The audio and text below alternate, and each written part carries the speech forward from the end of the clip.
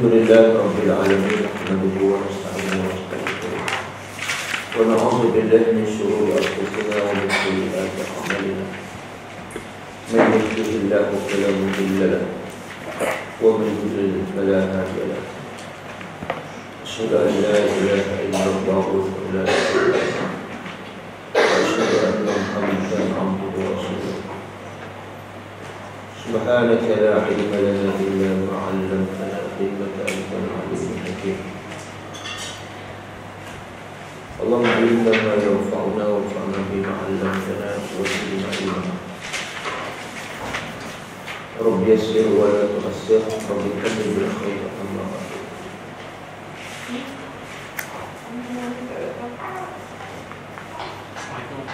السلام عليكم.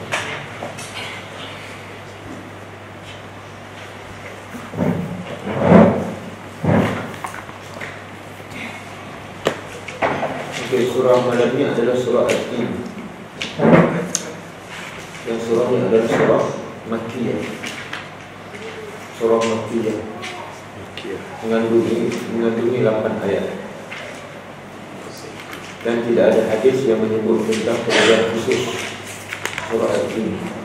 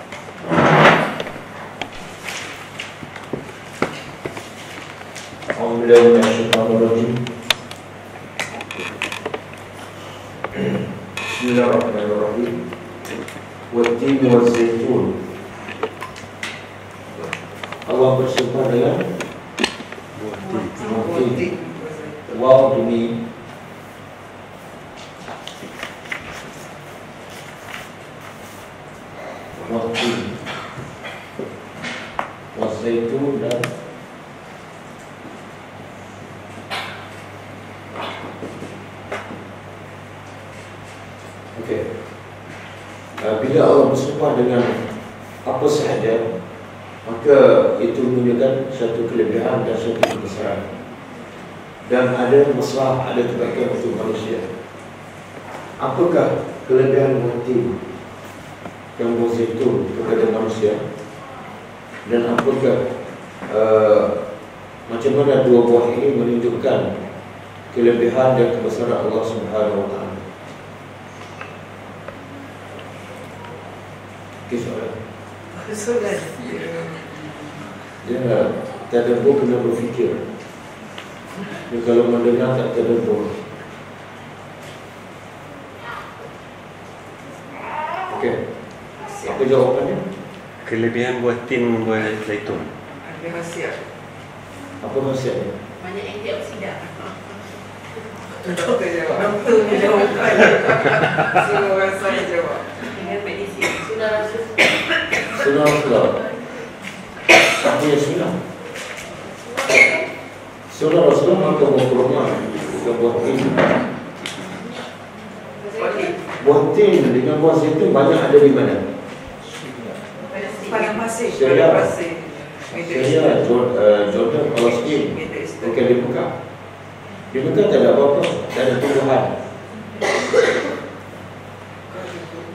Jadi kalau sebut buah tin dan zaitun Yang terkenal di Palestin Jordan ataupun Bukan di Mekah Lebih khususnya ialah di Palestin Okey, pertama buah tin Allah nak kita berfikir tentang buah tin Pernah tak semua? Pernah buah tin? Pernah makan? Benar yang yang kering Ya. Ayat kering hmm. Dalam tu ada apa? Biji Biji kan? Subhanallah Dalam buah tin tu banyak biji Daripada biji yang banyak tu boleh keluar Satu biji, satu pokok Faham tak? Ada kalau buah tu. Dalam sebiji buah tin ada biji-biji Yang halus kan? Hmm. Ha, daripada biji-biji yang halus Kalau ditabur dia akan keluar satu biji satu pokok Mana daripada sebiji buah tin akan keluar berapa pokok. Beri. Dan itu menunjukkan kebesaran Allah. Daripada sebiji akan keluar Mungkin berpuluh-puluh, mungkin beratus pokok. Daripada kecil itu Manusia tak mampu melakukannya. Hanya Allah sahaja. Kemudian buah zaitun. Buah zaitun banyak khasiat dia. Antaranya digunakan untuk apa? Minyak. Dan boleh makan saja Dan boleh mak, uh, digunakan untuk apa? Pizza Oh, kan? Risau. Ada buah buah Untuk buah masak zaitun Untuk ha. Atas pizza tu ada buah zaitun kan? Oh, ha. ha. Ah, ya. Olive, olive, olive. Yes, yes, olives. Also olive oil. Olives, olives. Dah lama makan pizza tapi tak puasa Sebab apa? Dia tak berfikir. Sebab itulah Kata ulama Allah sebut buah tin dan buah zaitun sebenarnya Allah nak bagi tahu bukan buah tin dan zaitun saja Semua buah. Apa dia? Allah nak supaya kita berfikir. Di, Bila kita berfikir kita akan rasa kebesaran Allah. Dan Allah sebut dalam satu ayat surah Fatir Innama Surah Fatir ayat 28 يخشى الله من عباده العلماء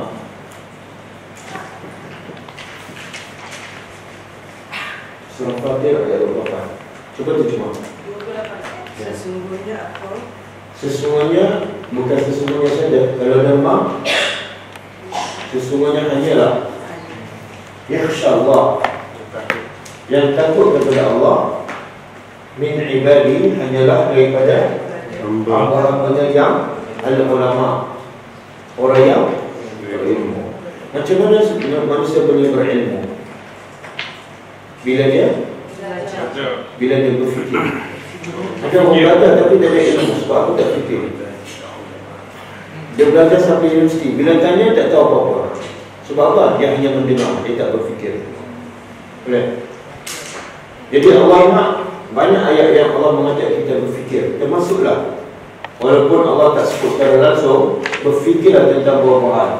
Tapi bila Allah bersumpah menunjukkan Buah-buahan itu penting. Okey. Apa yang patut kita fikir? Apa kuasa Allah pada buah? Saya bagi contoh kan. Buah eh, Contoh buah tin dengan buah zaitun Dia biasa tumbuh di mana? Di atas bukit. Atas bukit Di atas bukit. Jadi tin dengan buah zaitun ditanam sekali. Di tempat yang sama Disiram air yang sama Cuaca yang sama Waktu yang sama. Tapi akhirnya buah zaitun rasa dia tak manis kan? Buah zait, buah tin manis.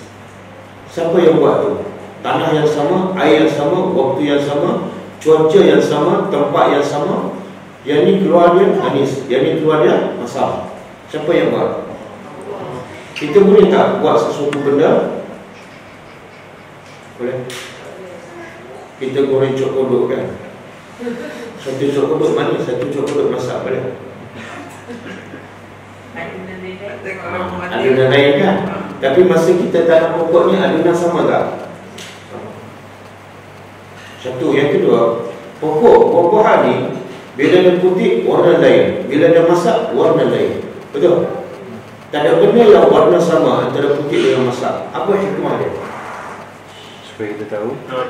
Subhanallah Supaya kita tahu apa kebaikannya Boleh dah, dah boleh makan lah. Boleh dah masak. Kalau semua buah-buahan Warna ketika putih dan masak sama Masalah tak? Masalah. Kita putih je, putih lagi Besok putih lagi, putih lagi kan Susah tak?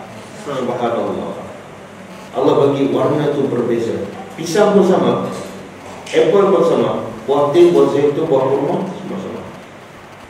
Supaya apa? Memudahkan kita. Dua. Yang ketiga Allah janji buah-buahan tu Dia tak masak serentak. Walaupun masa tanam Sama, hari yang sama. Masa siram Waktu yang sama. Tapi bila masak tak serentak. Betul? Cuba bayangkan kalau pokok Pokok durian Dia masak Hari pertama kita tanam Kemudian bila masak Sama je satu hari semua masak sekaligus Kalau ada 100 pokok durian Ada se, uh, 10 ribu buah durian Masak serentak hari yang sama Apa jadi? Tak tak suka orang. Dia buat tupoya. Subhanallah Rasa tak? Kita tak fikir kan? Kita tak fikir Padahal tanam hari yang sama Siram hari yang sama Baca yang sama Tapi bila masak. Kalau masak serentak Katalah ada 100 pokok durian Dan buah dia ada 5,000 Pertama tak cukup masa nak angkut semua. Yang kedua tak tak cukup lori nak angkut semua. Yang ketiga tak cukup kedai nak jual semua. Kan? Yang keempat tak ada siapa nak beli. Siapa nak beli sekaligus serentak. Betul tak? Tuan Bab masak sikit-sikit-sikit Yang keempat Buah rambutan kan? Contoh buah rambutan Kadang-kadang satu tangkai tu Kalau satu tangkai masak semua Tak ada satu tangkai Tiga biji masak Tiga biji tak masak Betul? Jadi kalau tak masak Tangkai yang lain Tapi kalau tangkai tu masak Semua masak Betul? Biasanya macam tu Supaya apa? Bila kita ambil je satu tangkai tu Kita tak akan rusak yang lain. Semua boleh makan. Tak perlu kita satu tangkai kena ambil Dua biji je. Sebab apa? Yang lain tak masak. Allah nak memudahkan kita. Boleh? Bila kita tahu Hikmah dan Kebesaran Allah pada buah Bila kita tahu? Bila kita fikir. Bila kita berfikir. Sebab itulah Allah sebut ni supaya kita berfikir Kalau kita tak berfikir Kita makan buah apa saja Kita tak berfikir langsung Ada beza tak kita dengan binatang? Ada beza? Bila kambing makan buah durian Dia tahu tak itu buah durian?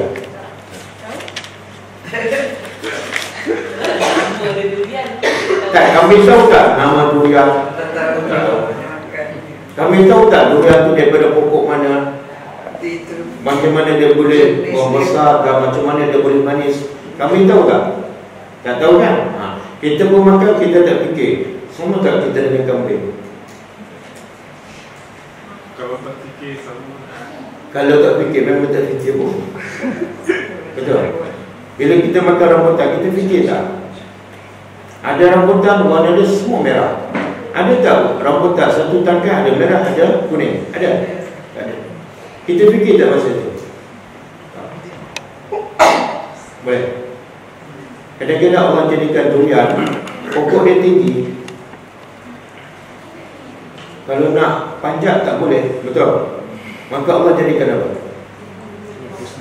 Bila dia masak bungkus sendiri Subhanallah Tak payah kita panjat uh, Pokok ketai Lagi tinggi Dan buah dia di mana? Ujung. Atas. Ujung, ujung tu lain Maka Allah sediakan kemudahan Apa dia? Satu binatang yang boleh panjat Boleh pergi sampai ujung Dan boleh diajar Apa dia? Ya. Monyet Kalau tidak monyet kita boleh makan petai tak? Boleh. Orang asli. Dia orang asli. Nanti kita tengok Kita nak makan petai baru cari orang asli Tapi tak boleh dakwah Okey? Buah tin dan buah zaitun. Di mana tempatnya? Palestin.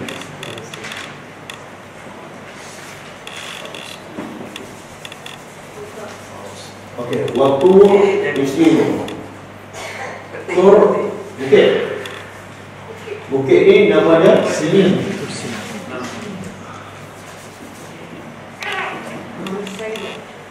Sini Satu lagi nama dia apa dah? Sini. Inai. Sayyidina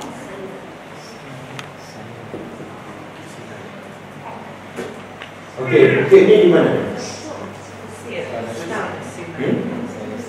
Mesir. Di Mesir. Mesir, Palestin lagi Ha, ni dia sebab tu surah kahfi tu orang kata apa? Ada Tuhan menceritakan Ada orang mengatakan penghuni kahfi itu ada Tiga orang Anjing yang keempat ada pendapat mengatakan orang penghuni kafir itu lima, ada yang ke enam. Kemudian tuan kata apa? Semua tu rajman bil ghaib. Rajman bil ghaib. Apa mana rajman bil ghaib? Rajman lontar. Ghaib. Perkara ghaib. Maknanya dia pakai tembak lah. Pakai tembak.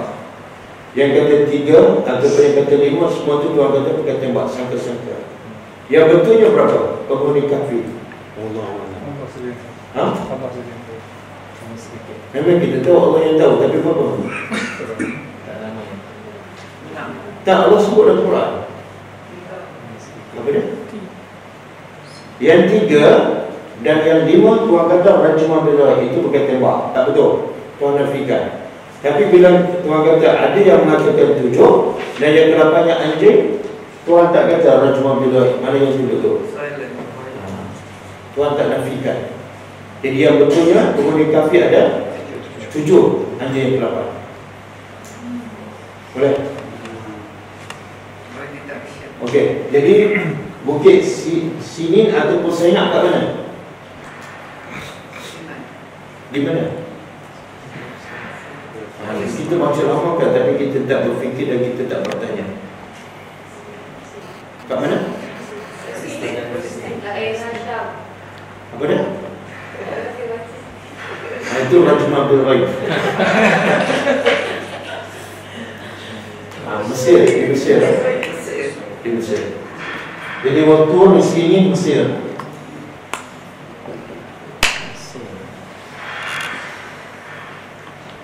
Okey, wahazan. Okey, satu lagi bukit sini ataupun saya nak ada sejarah dia. Apa sejarah dia? Nabi Musa. Ah, tempat Nabi Musa ber, bermunajat, bercakap dengan Allah. Okey, wahazal baladi amin dan demi ini, balad. Apa mana balad? banyak negeri. Negeri. Dia jadi lagi? Ada orang orang buta menyanyi. Mana dah? Negeri Al-Amin ada Aman. Negeri yang aman. Apa dia negeri aman? Apa dia? Mekah. Kenapa Mekah dinamakan negeri yang aman? Padahal dia adalah padang pasir, dia adalah kering kundang, dia adalah tak ada, tak ada, tak ada tumbuh-tumbuhan, dia adalah tak ada bahan galian, semua tak ada. Tapi Tuhan kata negeri yang aman. Kenapa? Kaabah. Sebab ada Kaabah. Pengajaran apa dia? Banyak malaikat. Allah pelihara rumahnya. Ah, itu Raja Mobil Baik. Apa Ada- dia- ada bukti. Hantar Okey, ada bukti, ada fakta.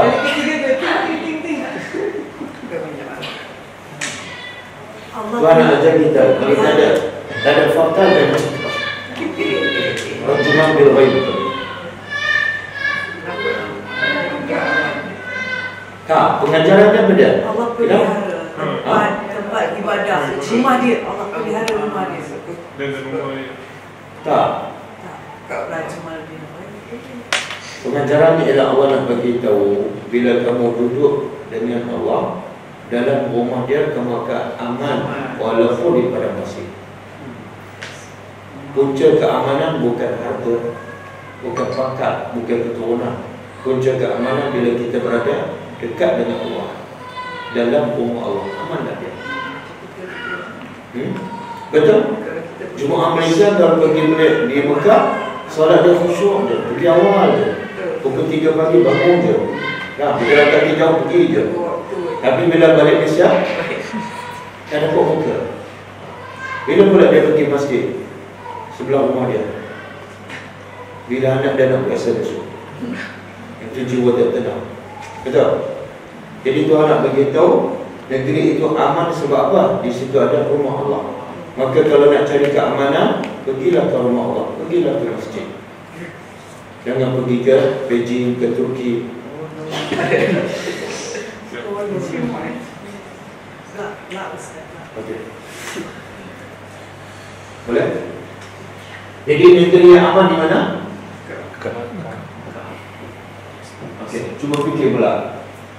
Allah bersumpah dengan uh, tiga benda lah. Satu buah-buahan, tin dan zaitun. Yang kedua Allah bersumpah dengan uh, tin dan zaitun di Palestin. Kemudian yang kedua Allah bersumpah dengan bukit di Mesir. Yang ketiga Allah bersumpah dengan negeri Mekah. Apa sejarah tiga-tiga ni? Pasti ada kaitan. Bumi yang biar. Palestin bumi Ambiya. Kebanyakan Nabi. Ambiya, para Nabi. Ambiya ni para Nabi.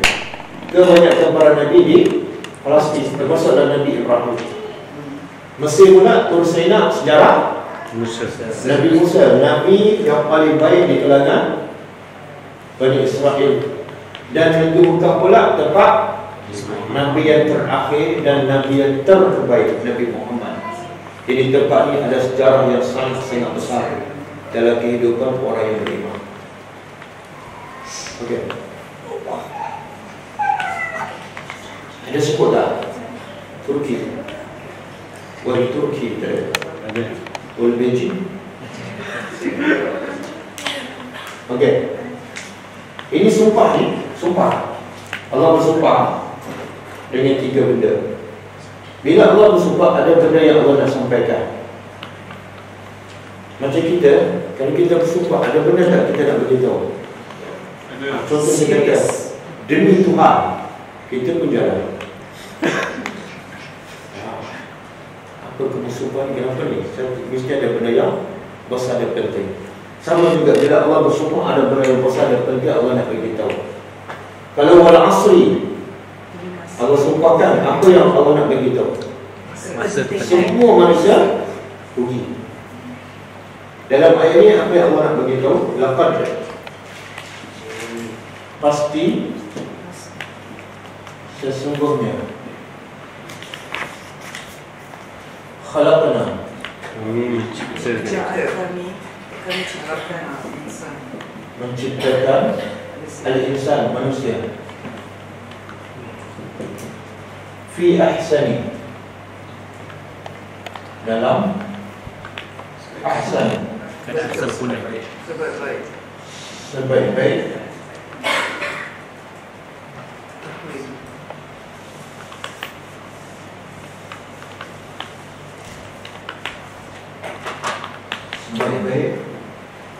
dia? ciptaan manusia ni baik. Ciptaan yang terbaik. Dari segi apa? dari segi apa? Physical. Fizikal lagi? Akal. Akal lagi? Fitrah. Fitrah diri tiga. Manusia paling baik ciptaannya dari segi akal yang kedua dari segi fizikal. Yang ketiga dari segi fitrah. Fitrah. Fitrah. Fitrah. Fitrah ni uh, bahasa Melayu saya tidak pastilah. Macam ni. Bila kita dengar hukum Allah kita rasa serasi je itu fitrah. Bila kata tak boleh kalau tak boleh solat berdiri duduk. Kita rasa oh memang patutlah. Ah, itu fitrah semula jadi Yakin. bukan. Bukan fitrah ni semula jadilah natural instinct. Instinct. Kita bahasa Melayu. Okey. Satu, kalau dari segi fizikalnya apa cipta manusia yang terbaik? Dari segi fizikalnya? apakah uh, manusia macam mana manusia fizikal itu baik? Kalau dibanding dengan binatang, Kepala kita kat atas kalau berjalan. kepala ke atas, Kalau haiwan kan dia sama level dengan badan dia kaki. sama level dengan badan dan punggung dia. Ha. Ini tepat mata dia, otak dia dan tempat buang haji sama dia.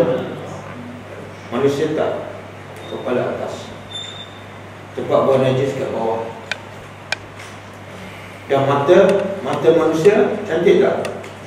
Kalau nak banding dengan mata Buaya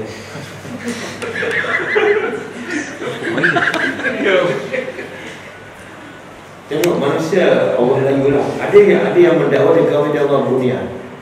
Kan? Hmm. Kenapa dia kahwin dengan orang Brunei? Sedangkan manusia adalah yang paling cantik. Dia paling cantik. Pernah jumpa? Ah, tak ada.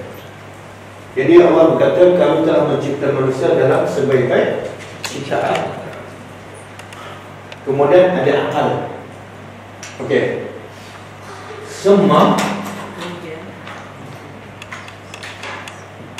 Kemudian kemudian radadnahu kami kembalikannya asfala kalau dalam satu ayat innal munafiqina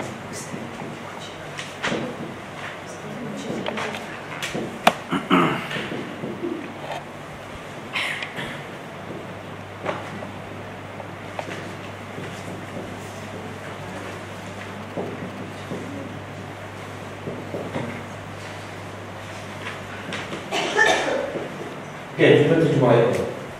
Inna Sesungguhnya al-munafiqin orang munafik orang-orang munafik fi darki dan uh, dan dan dalam uh, fi dalam darki ni apa dia panggil patak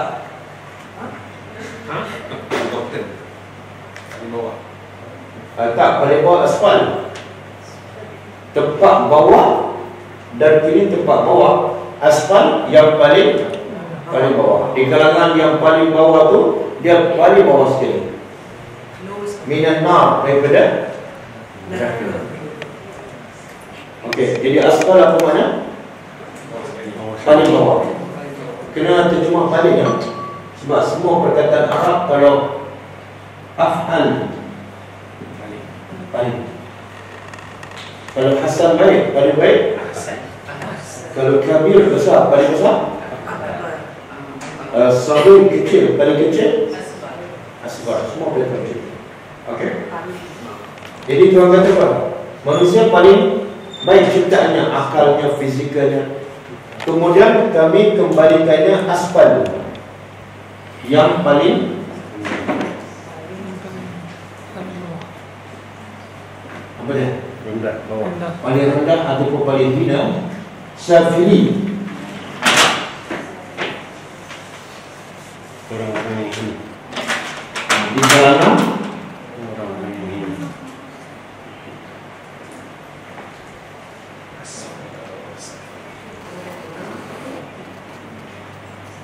Yang berhina.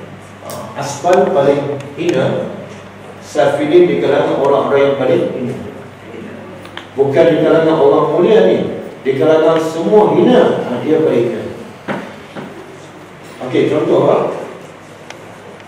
Malaikat. Malakun. Ini malaikat. Dia terbentuk daripada apa? Tak, itu dicipta daripada cahaya Ada akal tak? Akal Ada syahwat tak? Mereka ada syahwat tak? Ada Dia tak kahwin? Tak kahwin? eh? Tak ada jantina? Tak ada Okey, haiwan Terbentuk daripada apa? Syahwat Ada akal tak? sikit Haiwan ada akal? orang ada otak pada akal Hmm? tak ada Tak, lembu ada akal tak? tak ada Kau pun tak boleh jawab ha? Tak ada. Tak ada kan? Ha, kalau dia ada, dia masuk kelas kita Tak macam kalau si Farsi kalau buat kajian eksperimen tu kan Ustaz buat test pasal ada yang tu dia boleh dia boleh fikir Siapa yang bila tak? ha ha. Monyet dia orang buat eksperimen kan burung gagak tapi tu dia ajar tu dia ajar kan? Hmm. macam Ya. anjing juga lah Tak, dia sebab itulah binatang tak dipersoalkan Dia curi buah perang. Betul saya tak? tak. Ah, Sebab dia tak ada akal Satu lagi Manusia ni Kenapa manusia berkembang? Dulu zaman-zaman dulu mungkin tak ada pakaian Tapi sekarang ada pakaian. Dulu duduk bawah pokok Sekarang ada rumah. Dulu rumah flat Sekarang rumah besar kan? Sebab manusia ada akal. Tapi binatang Dulu tak pakai baju Sekarang? Sebab? Sebab dia tak ada akal. Dulu kan dia nak berhubung dengan kawan dia Dengan bahasa isyarat Sekarang dia pakai telefon tak? Tak. Dulu kita ada telefon tak? Tak ada kalau nak berhubung dengan surat Tapi sekarang semakin canggih Sebab manusia ada akal Bila ada akal dia akan berkembang Atau semakin maju Tapi binatang macam tu lah Dulu dia atas pokok Sekarang atas pokok Okey Jadi akal tak ada Binatang ada syahwat sahaja Insan ada apa? Akal Campur Syahwat.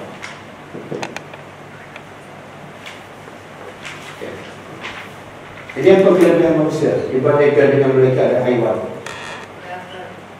Ada akal dan syahwat. Tetapi kalau akal ke atas, syahwat ke bawah. Ha, ketika ini manusia akan lebih ke daripada mereka. Kalau manusia di menguruskan kehidupannya dengan akal, bukan berpandukan nafsu, maka dia kedudukan dia akan lebih tinggi daripada mereka. Tapi kalau manusia manusia atas dia syahwat. Bawah dia akal. Kalau manusia hidup berpandukan syahwat dia bawa pada binatang. Bahkan lebih lebih hina dan lebih besar.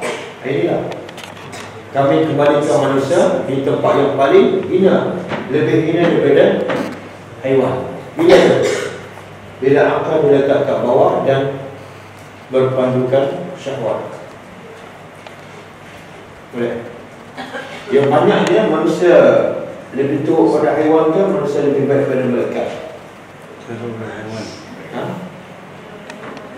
Ha, yang lebih baik pada malaikat satu daripada Seribu seribu. Yang lebih teruk pada haiwan 999 daripada seribu. Ya.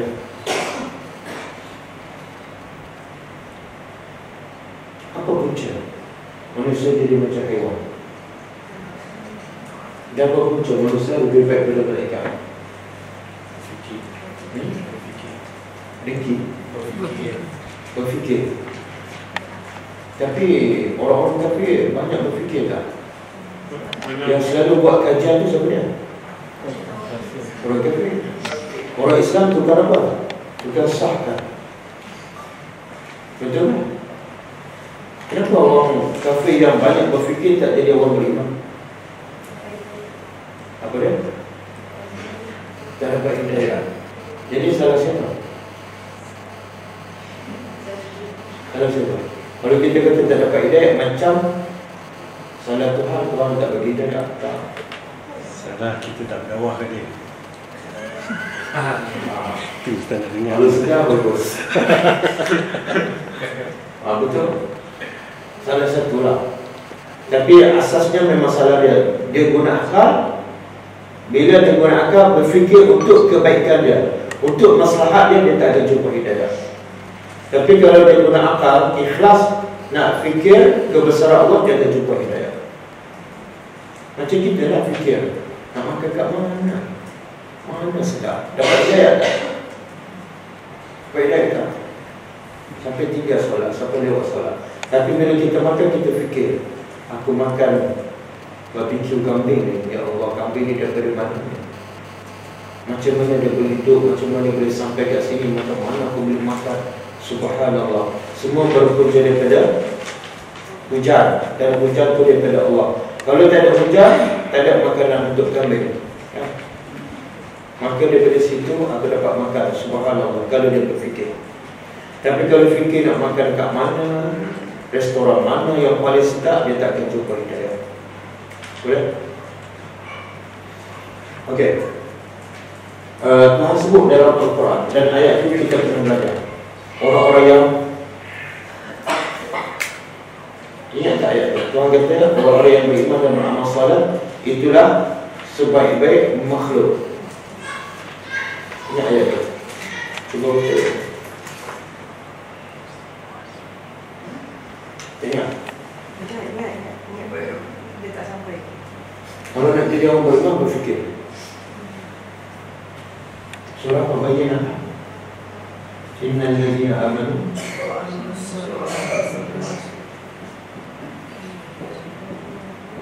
wa ghairu mamnun. Minta Ini surah ni tak sampai lagi. Ladzina amanu wa amilus shalihat He was always Ulaika? Syam. Khairun. Khairun. Jadi soalan Macam mana nak jadi manusia lebih baik daripada mereka? Macam mana nak kekalkan? Allah cipta sebaik jaga Tapi kalau tak jaga dia akan jadi Seburuk-buruk makhluk. Macam mana nak kekalkan Manusia perlu menjadi yang terbaik? Pertama Al-Banu Yang kedua Amal soleh. Beramal soleh Dan ada yang ketiga Tuhan sebut dalam surah Al-Asri Manusia, semua manusia rugikan Kecuali yang beriman. Yang kedua Ada satu lagi. Besar. Ah, dengan kebenaran Apa maksud berbesar dengan Takwa. Itu berdakwah Tapi Ustaz kalau baca ayat tu Ustaz Kata pasti uh, Manusia kami ciptakan manusia dengan sebaik-baik ciptaan. Kemudian kami kembalikan. Maknanya Setiap manusia akan kembali ke situ. Kalau Tak. saya baca tak semestinya. Ya. Yang kembali kepada tempat yang paling hina Ialah yang tak beriman. Sebab tu ayatnya ada ilah Kecuali Kita baca tak maaf Okey Kita sambung takut Nazri berkeliru Illa kecuali Al-Lazina Orang-orang yang Al-Banu beriman. Mereka beriman Bila sebut beriman Dia beramal soleh tak? Ya. Ada tak orang beriman tapi tak beramal soleh? Tak. Oh tak ada Kita beriman tak? Ya.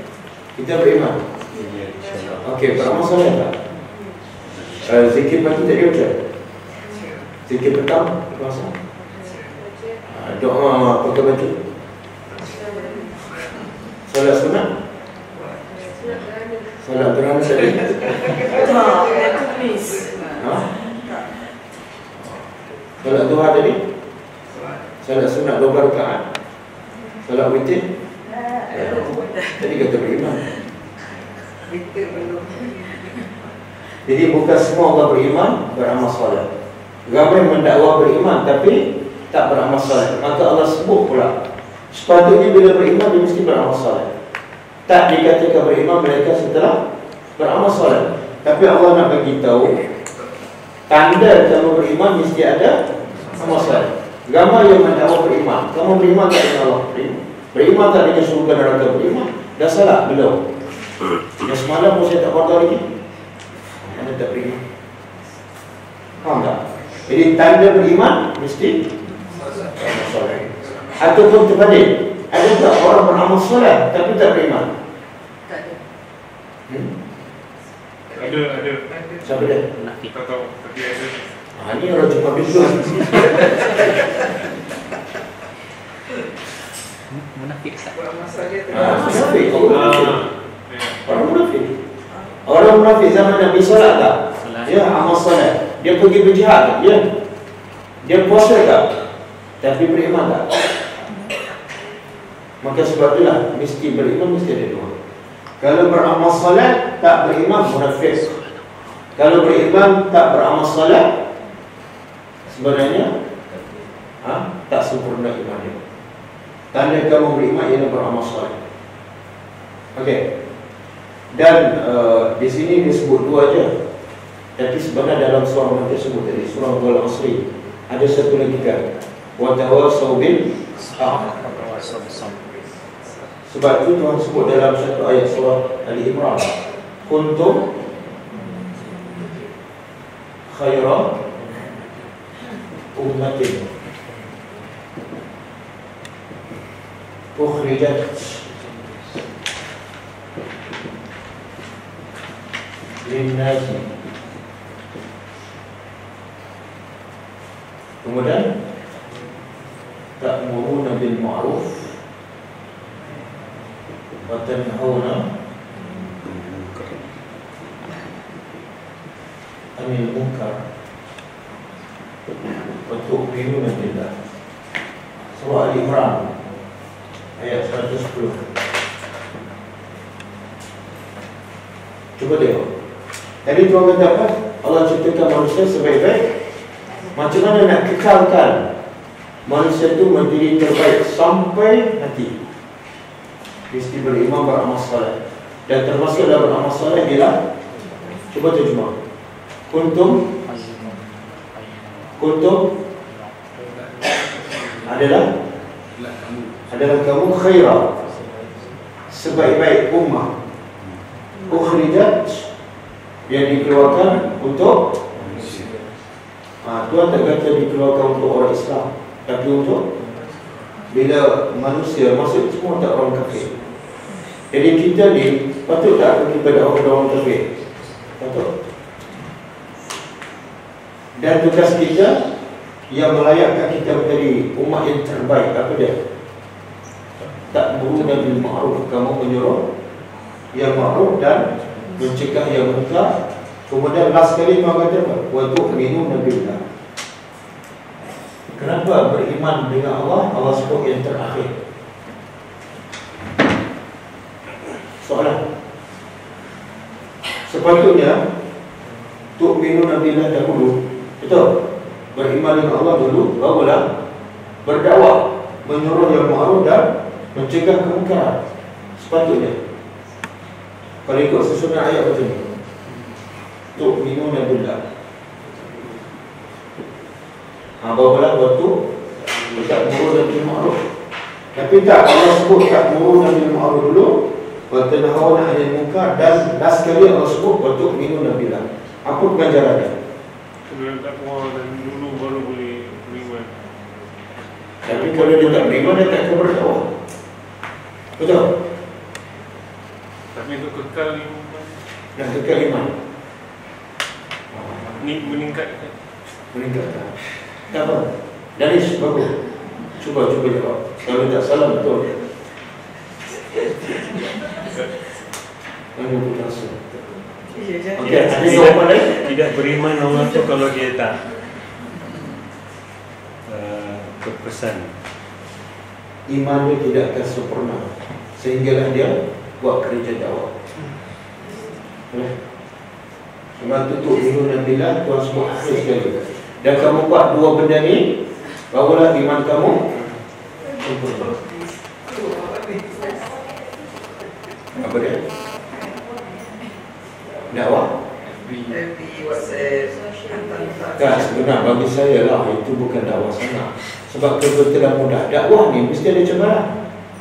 Bila kita berdakwah mesti ada cabaran. Susah, penat, letih, orang tak suka, orang caci, orang maki. kan? Tapi bila dakwah dalam hati, seronok tak? Kena maki juga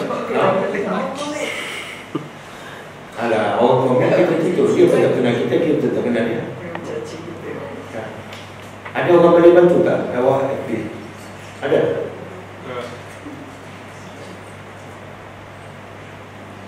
Dakwah kena berdepan. Satu yang kedua bila kita berdakwah melalui hati, kita tahu tak dia faham? Kita tahu tak respon dia? Sebab tu dakwah kena berdepan. Boleh? Sebab tu saya nak, eh, nak, nak cerita sikit pengalaman saya berdakwah di Sarawak. Itu apa saya? Kan? Bila saya pergi ke Sarawak, uh, menyedarkan saya dan tim saya ni dan sepatutnya menyedarkan semua orang Islam di Semenanjung. Apa dia? Bahawa kita ni terlalu kerdil dan kita ni sebenarnya belum berdakwah dengan erti kata yang sebenar. Sebab tak ada cabaran. Di Sarawak ni dia ada satu NGO nama dia Urus dia Saudara kita USK Di bawah Majlis Agama Sarawak. Tapi sebab kerajaan Sarawak dia tak bagi peruntukan, tak bagi dana Dia buat kerja sendiri.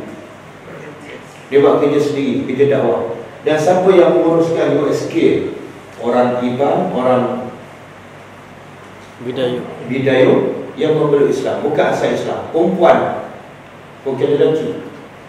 Di sebenarnya kalau kita bincang dakwah kita bincang dengan lelaki. Di sana kita bincang dengan perempuan Yang baru masuk Islam.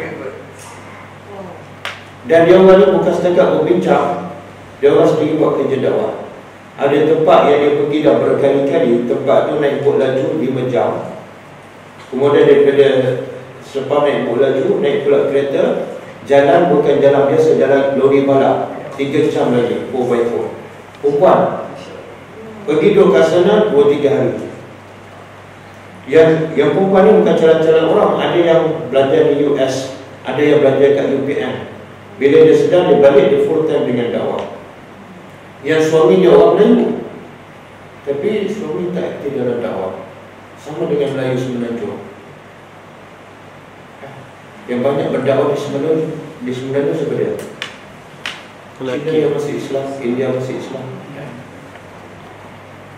Dan bila kita pergi berdakwah ke Sarawak di satu kampung nama Kampung Jangka, daerah Ludu, uh, dua jam daripada tujuh. Dia orang bawa kereta. Dia orang bawa kereta perempuan. Yang lelaki duduk belakang, maksud saya. kita berdakwah kat Kelantan yang bawa kereta lelaki. Yang pergi berdakwah lelaki, tapi sana yang bawa kereta perempuan. Subhanallah. Dia tinggal suami tinggal rumah. Tapi Alhamdulillah suami benarkan Saya kata kenapa lelaki tak pergi? Tak ada, tak ada lelaki.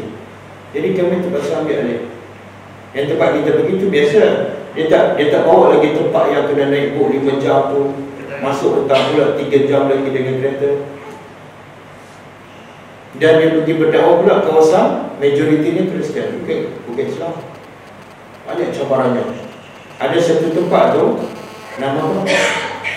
Sirikan Hmm, ha. Kawasan tu 2-3% saja orang Islam. 97 Kristian. Dia boleh beli satu rumah. Rumah sederhana dia. Bukan baru rumah perut lah 45 ribu. Perempuan ni Dia beli rumah situ dengan dia untuk buat pusat dakwah. Dia tak boleh buat uh, surau ataupun nama surau. Sebab orang Kristian kawasan tak benarkan. Tapi berani, gigih dia beli 15 45 ribu untuk buat pusat dakwah. Perempuan. Kita tak terfikir macam mana dia boleh sanggup nak pergi beli tempat dakwah pasal Kristian dan dia buat pula perempuan?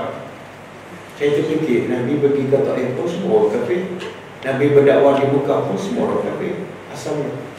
Apa-apa saja dia kena mula. Ha, tak ada kat Malaysia di sebenarnya tak. Boleh dan masalah dia orang sekarang boleh Masalah yang paling besar ialah masalah Kekurangan pendakwah. Untuk cover satu Sarawak tu dia ada lebih kurang 8 orang da'i sahaja. Itu pun da'i yang muda-muda Umur 22, 25 Yang hanya boleh mengajar ikhraq Hanya boleh mengajar buku Islam, buku iman. Nak ajar lebih daripada itu tak boleh Sebab tak ada ilmu. Nak harapkan ustaz Tak ada. Biasa di Semenanjung ni Ustaz ber, beratus-ratus. Setiap masjid, setiap malam ada Ustaz kan? Bahkan ada masjid Satu hari empat ustaz. Forum perdana Kita minggu boleh kata ada Satu hari empat ustaz. Ha, Contoh masjid Ridwan Ulu Kelam. Pasal tak? Kadang-kadang satu hari empat ustaz. Tapi di sana setahun Sebab tu bila kita berdakwah pada puak-puak ni Orang Kristian yang baru masuk Islam bila kita pecah kumpulan Sepatut sekejap je setengah jam Tapi jadi sampai dua jam lebih Tak habis, tak cukup masa Kenapa? Banyak soalan yang dia, dia nak nak tahu Sebab tak ada orang nak mengajar dia Dah setahun tak ada Fatihah tak tahu baca, solat pun tak berhenti, ikhlas pun tak berhenti. Tak ada siapa nak ajar. Macam mana Ustaz dia kena dia USK ni? Saya sekolah yang lepas saya pergi teman isteri saya ada urusan dia. Okey. Ha. Kemudian Idris dia lawyer. Idris? Ha. Ha. Dia temukan saya dengan dalam surat AJK ni ada pada situ lah saya fikir saya mesti bantu ni. Sebab dia orang di Sarawak dibanding dengan di Malaysia sangat-sangat memerlukan dakwah dan bantuan kita. Dia sebenarnya ni dah banyak dah pendakwah, penceramah ustaz-ustaz. Duit pun banyak. Dan ramai orang tak nak dengar pun. Di sana orang dah ada ilmu. Kadang-kadang dia orang pergi sekali setahun je. Nak pergi dia tak boleh tak mampu sebab perempuan. Tenaga pun terhad. Bila nak berdakwah tak ramai. Jadi saya nak sarankan supaya kita terus menjadi ahsani takwi dan kita menjadi untung khairul umatin. Kita wajib buat kerja dakwah. Dia cakap bahasa Melayu lah. Ya, nah itu kelebihan. Seronok kita berdakwah sebab kita cakap bahasa Melayu dia faham. Tanya soalan macam-macam. Ada tanya soalan ustaz. Kita Kristian dulu makan babi. Tapi ada ustaz cakap, bila masuk Islam kena minum air tanah. Sama ya. Sama. Jadi masalah dia. Bila dia kan, bila ustaz bagi tu kena minum air tanah sebab sama. Yang masuk Islam tu Gila. orang makan nasi, makan roti, dia minum air tanah. Sebab nak sama. Badan dah bercampur dengan daging babi. Tak sama. So, kalau orang lelaki yang Islam masuk Islam ni, dia kena berkatan tak? Tak dewasa. Tak diwajibkan lah. Dia kalau memudaratkan lalu jenis dia tak boleh tak payah. Suruh dia solat. Yang solat bersama kita tu dia tu kat badan. Sebelah kanan kiri kesian. Ada dia tanya soalan apa dia? Dia duduk dalam masyarakat Kristian. Bila ada kematian, dia buat majlis tahlil. Tak apalah. Lepas majlis tahlil, orang Kristian meraihkan kematian tersebut dengan apa? Majlis cuti. Buat di mana? Di rumah orang Islam. Jadi dia tanya soalan, macam mana Ustaz?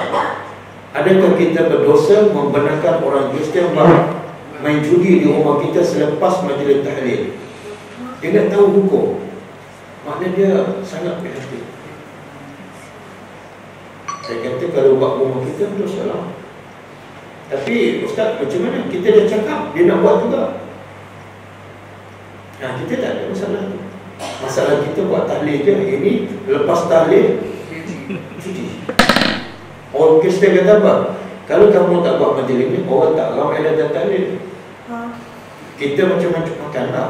Kalau tak buat makan, orang tak datang langsung. Tahlil. Ha, dia buat majlis cuti. Sangat-sangat besar cabaran. Jadi saya cadangkan semua ni. Kalau dia jadi khairul ummatin, pergilah berdakwah. Kira-kira. Gefiar kan? Cukuplah drama tu. Ikut drama. Tak. Kalau saya cadang nak bawa dia orang ni yang daripada Iban Bidayun yang masuk Islam kemudian uruskan ni. Saya kalau dia nak bawa kat sini, bila dia cakap depan kita tengok sendiri kegigihan dia orang. Cabar cabaran yang dihadapi. Ada kadang-kadang di bandar kucing kan, orang Kristian baru masuk Islam. Bila ada berlaku kematian, keluarga dia nak ambil dan nak tanam ni kubur Kristian. Jadi dia kata kita orang terpaksa duduk di mayat tiga jam. Perempuan. Lelaki tak ada. Sebab nak jaga mayat tu daripada diambil oleh orang Kristian. Ha, kerja-kerja tu kita tak buat, ustaz tak buat. Jadi pergilah, pergilah. Pergilah bantu dia orang. Paling kurang kita boleh jawab di hadapan Allah. Kita ada sumbangan untuk menyebarkan Islam. Islam bukan setakat solat saja, puasa saja tak. Mesti berdakwah. Yang kedua saya nak cadangkan kalau boleh kumpulan kita ni setiap kelas buatlah pembentak khas untuk bulanan kepada mereka. Mereka sangat-sangat memerlukan dana. Pertama untuk gerakan dakwah termasuklah nak bayar elam dai itu. Dai muda dia bagi elam seribu saja. Duk puasa pendalaman tu. Kadang-kadang duk tempat surau. Gaji seribu masih cukup. Kadang-kadang dapat tawaran dia tinggal. Jadi kita perlu bantu dari segi kewangan. Bagilah kewangan. Kalau boleh tetap setiap bulan. Contohnya potong gaji. Kalau gaji banyak tu potong RM50 sebulan saja. Cukup. Kalau rasa tak cukup bagi 500 Tak ada Marketing. Cukup tambah. Allah akan soal kita Ilmu yang kita belajar, duit yang kita ada Kita guna tak untuk menyebarkan agama Allah. Okey? Boleh eh? Akan datang kita akan pergi uh, sekali lagi ke Sarawak. Kita tak boleh tinggal. Kalau kita tinggal, saya pun rasa takut Akan disoal oleh Allah. Saya dah tahu mereka sangat-sangat memerlu- memerlukan bantuan kita. Juga-juga kita tinggalkan mereka. Sama kena tarik awal sikit. Masya Allah Kan? Masya Allah Okey, Lufia boleh? Kalau nak bisnes tu kau kat sana boleh? Hafiz. Duk Hafiz.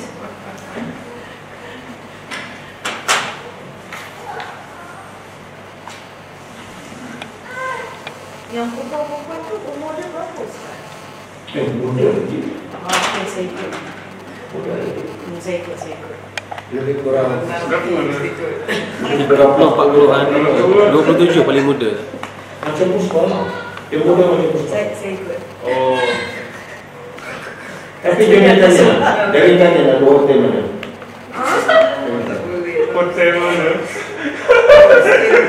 Boleh, nanti Pak, you can Nak do pergi it. Dawang ke nak pergi Melancong ni? ke California Hotel Muslim. Camping lah. Suka. Tak, bila kita pergi berdakwah di ni Bila kita pergi berdakwah di Kampung Cakap Puspa. Bila kita pergi berdakwah di kampung tu Dia orang bawa kereta. Bila sampai kat surau tu Kerja dia pada Masak untuk kita orang. Semua tu lebih kurang 6-7 orang. Kerja dia orang menguruskan masak makan minum untuk kita orang. Sebab kampung tu kawasan pedalaman Kedai makan tak ada, terlalu cip tak ada. Dia mesti masak untuk kita orang. Sebab apa? Dia nak kita fokus pada dakwah. Subhanallah Pergi bawa kereta sampai pula kerja dia masaknya Nanti saya bawa jus. Yang tak ada air orang tak dapat ha? Kita bawa makanan tin lah, Ustaz. kita pergi tengok Medina. Apa-apa tidak yang penting pergi Whatever, Ustaz. Okay, we can do. You can do it. Bila-bila. Yeah.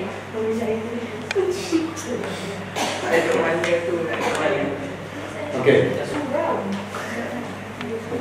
Okey, saya Saya dah pergi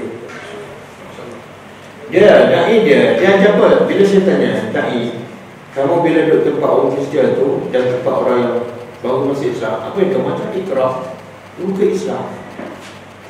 Kita semua boleh ajar Lebih mereka boleh bergerak Ya. Dan dia orang tak pernah belajar telefon Tak pernah belajar surah-surah ni. Tapi dia ajar benda-benda simple Gila. Allah kasihan Masa tu lagi mereka tak ada Quran. Ramai yang masih Islam Tapi Quran satu pun tak ada. Kat rumah tak ada Quran langsung. Sama ada kita terjemahan ke Quran betul memang tak ada. Kat surah pun tak ada. Tapi kita tengok masjid-masjid kat di Semenanjung Bertimbul-timbul Quran Yang terjemahan ke? Ya Allah. Tak seimbang. Sana dah ke ilmu Ustaz tak ada Quran tak ada Kitab tak ada. Sini tak kat ilmu. Belajar je Sebab apa? Tradisi kan Quran pun banyak, kitab pun banyak, ustaz pun banyak Tapi akhirnya yang mendengar tak berdakwah Kat sana dengan sikit je dia sampaikan Itu cabaran Allah. ha? Cabaran Allah. Bila saya pergi saya rasa Ya Allah Dosa kita Sebab di sana memerlukan ilmu Kita duduk mengajar kat sini Sedangkan di sini so Dah banyak ustaz. so gabung tu kita kurangkan nak bisa Ha, bila kurangkan. Sebab dapur ni, dia orang Kelantan kan. Orang Kelantan ni, dia rasa dia ada Islam. Bila kita buat ceramah, dia tak berapa dia dengar. Tapi kalau kat sana, Kristian baru masuk Islam. Dia sangat-sangat nak tahu. Sampai 2 jam dia tanya soalan. Sangat-sangat nak tahu.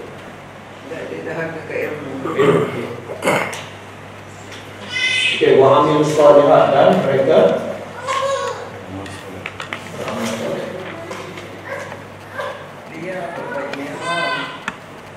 Okey. Semua manusia kami kembalikan tempat yang paling hina kecuali yang beriman dan beramal soleh. Maka apa lagi Allah bagi hadiah upah kepada orang yang beriman dan beramal soleh. Falahum Ajar. maka bagi mereka ajrun ajrun ni lebih cepat upah beza tak? Abang kita upah dengan bapak kita upah beza kan?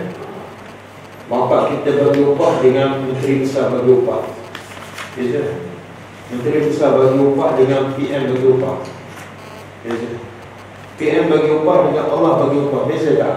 Dah beza tak? Kemudian Allah tambah satu lagi. Apa dah Ghayru mamnun apa mana ghayru mamnun Tanpa putus tidak terputus. Oh, nikmat. Apa mana tidak terputus? Ha? Boleh tak bagi contoh macam mana nikmat yang tidak terputus? Macam sungai yang mengalir Macam Sungai yang mengalir saya bagi pada Zainab ambil satu juta. Lepas tu Zainab kata dah satu juta ni Ustaz. Ustaz, saya kata ambil lagi. Zainab kata dah lima juta ni Ustaz. Saya kata ambil lagi. Zainab kata dah lima bilion ni Ustaz. Ambil lagi. Zainab kata 2.6 bilion ni. Ha, itu anda tak terputus. Sebab apa Allah boleh bagi upah yang tidak terputus? Sebab? Kita kalau bagi macam tu, apa jadi? Bankrupt. Tanya ustaz nak berapa ni? RM5,000 Saya boleh bagi RM1,000 je Sebab Allah tu memiliki Segala-gala Dan bila Allah nak sesuatu Cukup dengan fayakun. Dalam satu hadis Nabi kata Ahli kursi Kalau semua manusia daripada Nabi Adam Sampai kiamat Meminta apa saja daripada Tuhan Dan Tuhan makbulkan Tuhan bagi semua sekali Maka yang Tuhan bagi pada semua permintaan manusia itu Seperti kita celup jari di laut Angkat ha, Yang melekat di jari itu yang Tuhan bagi pada semua manusia Yang berbaki banyak mana? Jadi kita nak mana? Upah yang putus ke upah yang tidak terputus? Nak yang mana? Betul? Betul? Tapi ke upah yang putus Kita sanggup pergi kerja pagi balik petang. Betul? Kadang-kadang zikir pagi. Bukan pergi pagi balik petang. Zikir pagi setengah jam je. Tapi lama orang tak buat. Sedangkan yang tu upah yang tak putus. Kenapa kita tak buat? Bukan kita lah boleh Asal bagi contoh kan La ilaha illallah wahdahu la syarika lah lahu mulku wa lahu alhamdu wa huwa ala kulli syai'in qadir. Berapa kali? 100 kali. Apa ganjaran dia? Hmm? Memerdekakan 10 orang hamba lagi dapat 100 kebaikan. Yang ketiga gugur 100 kejahatan. Yang keempat dia dipelihara daripada gangguan syaitan daripada pagi sampai petang. Dan tambah satu lagi apa? Pahala yang tidak putus. Baca tu 10 minit lebih je Tapi ramai orang tak tahu Yang dia buat mana? Yang upah yang putus. Yang kena keluar pagi balik petang. Apa masalah manusia? Apa masalah manusia? Fikir dunia. Ha, cinta ke dunia? Bila cinta dunia dia tak nampak akhirat. Dia tak percaya, dia tak yakin. Boleh?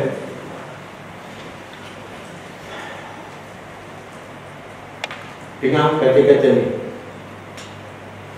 Bahasa Arab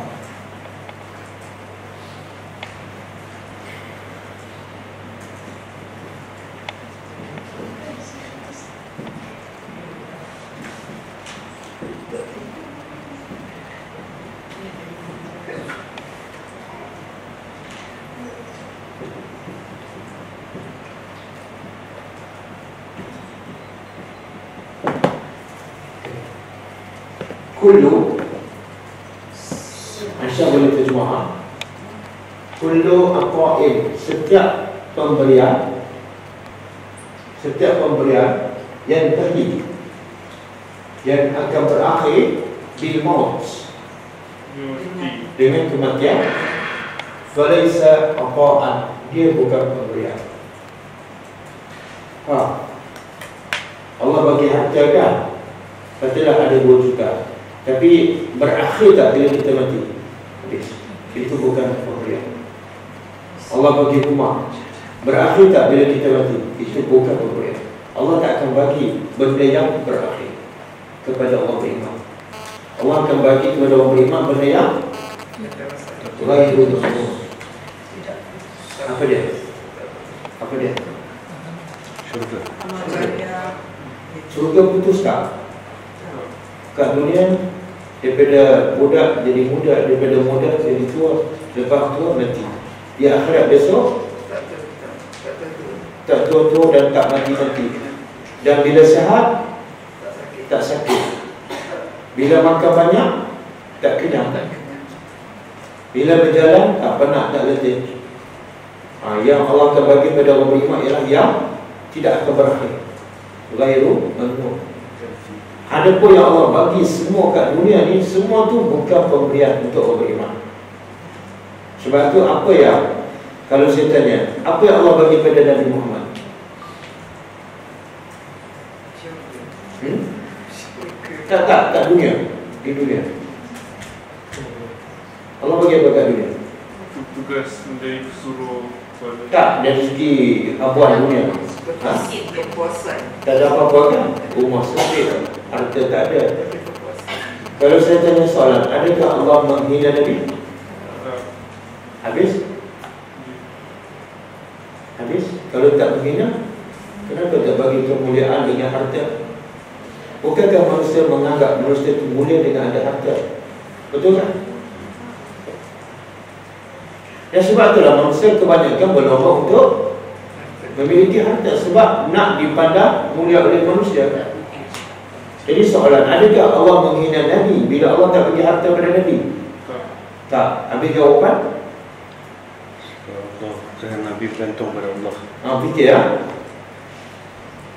Tak, jawapan dia di sini. Yang semua berakhir dengan kematian bukan pemberian. Yang tu Allah tak bagi pada Nabi. Yang Allah bagi pada Nabi beda. Yang berkekalan di surga. Subhanallah. Sebab itulah bila Umar masuk rumah Nabi, Umar tengok keadaan rumah Nabi ada tiga mengkuat. Bila Nabi bangun tidur berbekas kat belakang, Umar menangis kan? Umar menangis. Dia kalau TV tiga pergi bersama Bersama tak menangis tu. Umar ni hati dia keras tak? Tapi dia boleh menangis. Apa dia? Tengok Umar Nabi. Bila Umar menangis, Nabi bertanya, Ma yulkika ya Rasulullah? Ma yulki ya Umar? Apa yang menyebabkan kamu menangis, wahai Umar? Umar kata apa? Macam mana aku tak menangis? Kamu ni kekasih Allah, orang yang paling mulia. Dan bila aku tengok Raja Rom, Raja Parsi yang paling kufur pada Allah, duduk dalam istana mewah. Kamu ni orang yang paling Allah sayang. Macam ni Allah bagi pada kamu. Macam mana aku tak menangis? Macam saya kan Tengok saya duduk bawah jabatan je Nangis tak? Nangis kan? Kau okey je?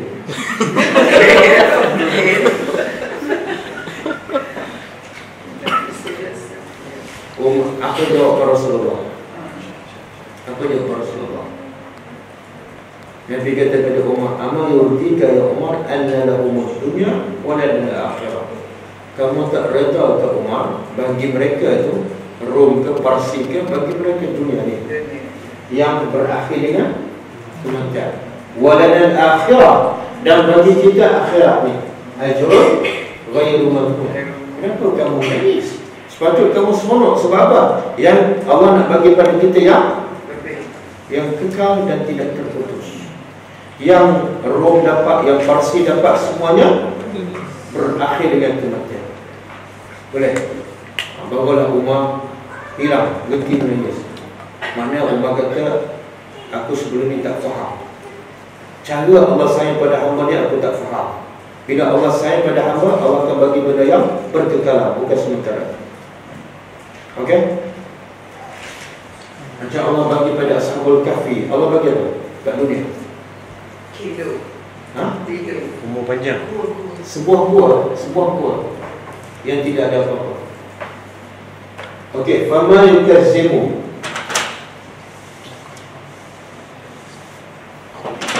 Fama yukazimu.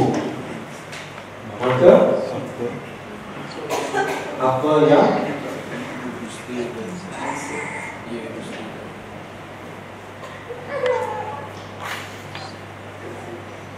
apa yang menjadikan kamu mendustakan agama? Bidin agama ataupun hari akhirat. Apa maksud ayat ini setelah Allah ciptakan kamu ahsan takwim kemudian kalau kamu beriman beramal soleh Allah pula akan bagi pahala yang tidak putus.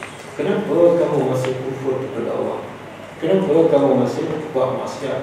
Kenapa kamu masih solat lemah kenapa kamu masih buka awal?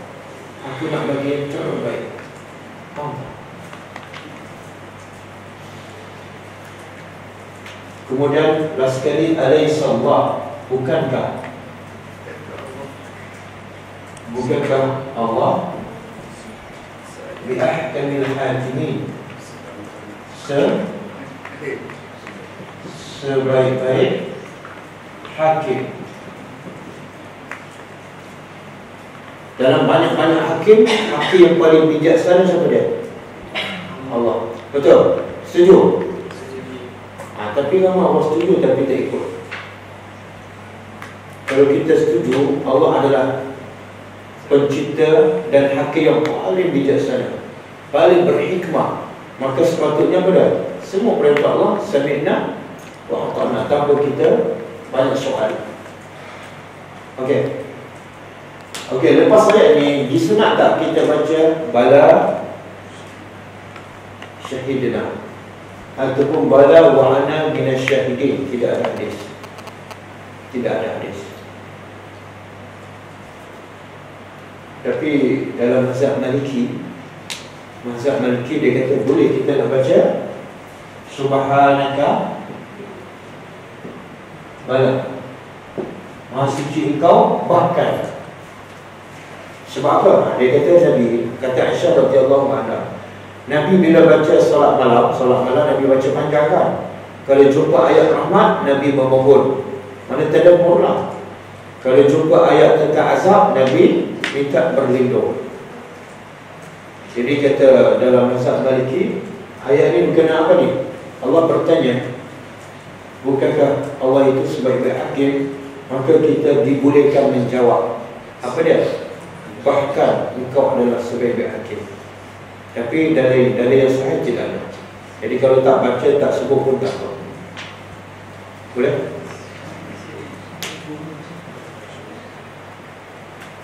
Okey, ada soalan tak?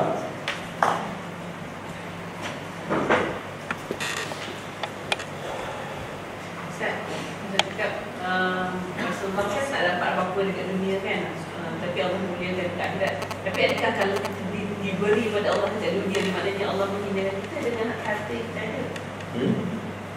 Adakah itu menunjukkan bahawa yang yang sebaliknya pula Macam Rasulullah tak dapat apa-apa dekat dunia Dan dekat akhirat Allah muliakan Jadi kita dekat dunia dah dapat lebih daripada Rasulullah Kita hilang semua kan Rasulullah sudah tika je Adakah itu berarti Allah Bagi kita, kita ada lebih daripada Rasulullah Tak. Bila uh, kita dapat kekayaan, kesenangan bukan mana Allah menghina. Cabaran. Dia hina ataupun tak bukan kerana kaya ataupun miskin. Hina ataupun tak ialah beriman ataupun tak. Kalau dia kaya dia beriman, maka dia bukan hina. Tetapi kalau ikut cara Rasulullah lagi lagi baik. Kenapa Nabi hidup dalam miskin? Ada tak Nabi yang kaya? Ada. Ada. Siapa dia? Sulaiman. Nabi Sulaiman. Kenapa Allah tak jadikan Nabi Muhammad macam Nabi Sulaiman? Ada kerajaan, ada kekayaan.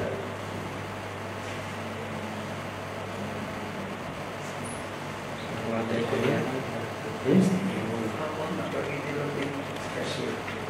Sebab Nabi Muhammad adalah Nabi yang terakhir. Nabi yang terbaik. Bila Nabi terbaik mesti memberi contoh yang terbaik.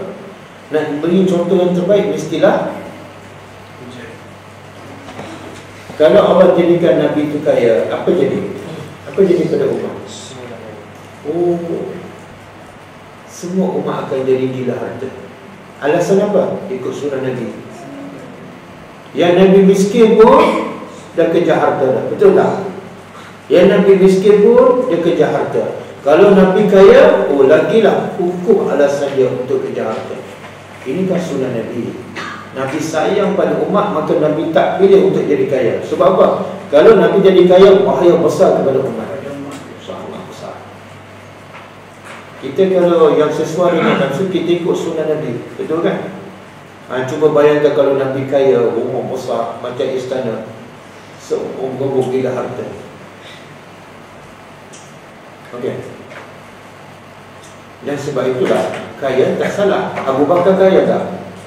Osman bin Affan kaya Abdurrahman bin Auf kaya. Tapi Nabi tak larang. Nabi tak larang. Tetapi kita nak ikut siapa? Nak ikut Abdurrahman ke nak ikut Nabi?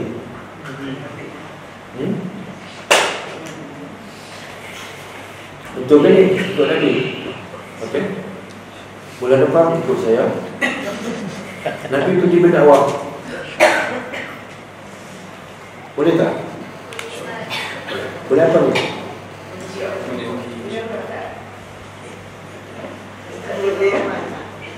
Tak, saya rasa ha? Kak Umi dah biasa pergi dah Saya rasa macam Sangat-sangat tidak patut Orang beriman Berseronok, berjalan Tidur, berehat. Sedangkan orang sana sangat-sangat memerlukan ilmu dan bantuan kita. Sangat tak Saya bagi contoh macam orang nak jatuh lubang. Kita tengok boleh tertidur. Masuk akal tak?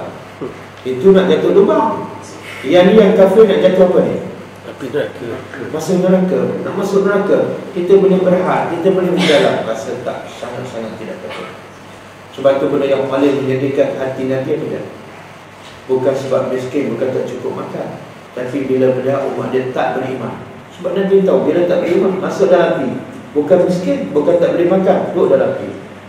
Maka Nabi penuhkan masa dia 24 jam Bagi petang siang malam Berdakwah. Okey. InsyaAllah kalau kita beriman beramal soleh Termasuk dalam bawah meja dakwah Falahum ajrun wa imam Okey cukup. Ada soalan